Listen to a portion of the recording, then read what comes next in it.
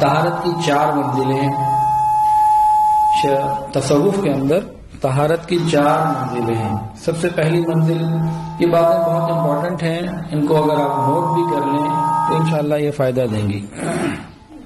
سب سے پہلی چیز تو یہ ہے کہ بدن کا پاک ہونا، لباس کا پاک ہونا اور جو ہم غذا کھا رہے ہیں، اس کا پاک ہونا۔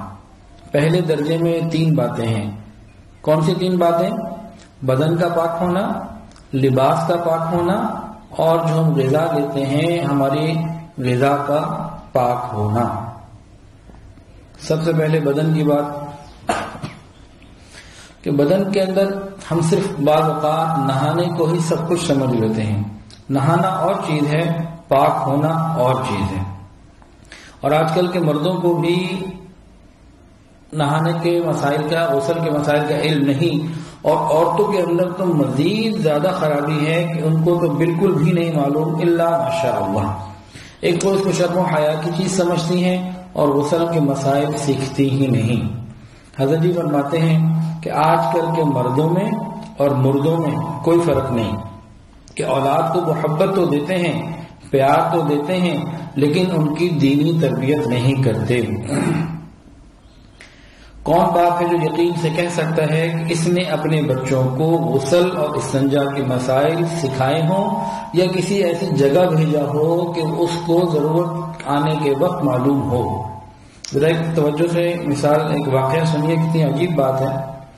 امام اعظم، امام حنیفہ رحمۃ اللہ علیہ عشاء کے بعد مسجد میں درس دے رہے تھے۔ کافی ٹائم گزر چکا تھا تو ایک نوجوان لڑکا آیا، اندازہ بارہ چودہ سال عمر ہوگی۔ اور آج اس نے پوچھا، حضرت، کہ ایک آدمی عشاء کی نماز پڑھ چکا ہے، اس کے بعد وہ سو گیا۔ پھر اس کو غسل کی حاجت ہوئی، کیا وہ عشاء دوبارہ پڑھے؟ تو امام صاحب نے فرمایا کہ ہاں وہ دوبارہ پڑھے۔ اور وہ چلا گیا اور اس نے جا کے دور جا کے نماز پڑھنی شروع کر دی۔ نماز اتنی شاندار پڑھ رہا تھا کہ امام صاحب نے اس کے سوال اور اس کے نماز کے انداز کو دیکھ کے فرمایا کہ یہ بچہ یقیناً بہت ترقی کرے گا شہادت مند ہوگا۔ اس قسم کی بات فرمائی۔ جو طلبا بیٹھے ہوئے تھے وہ حیران ہوئے۔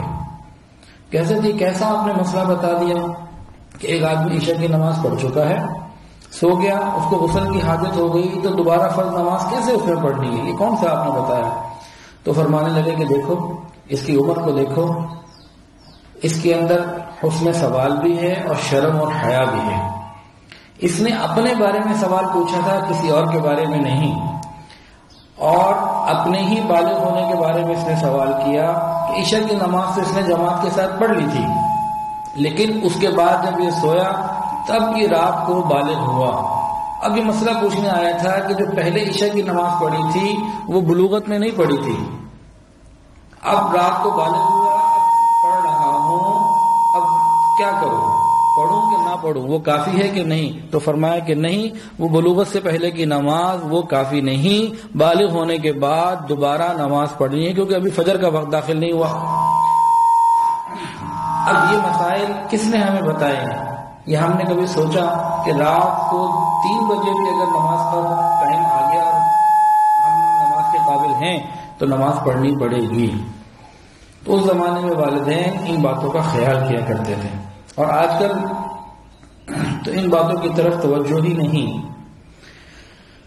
اور ہمارے گھروں میں جو ناپاکی ہے، یہ عام طور سے بچوں کے ذریعے بھی پھیلتی ہے اور کام کرنے والے مرد ہوں یا کام کرنے والی عورتیں ہوں، ان کے ذریعے بھی پھیلتی ہیں۔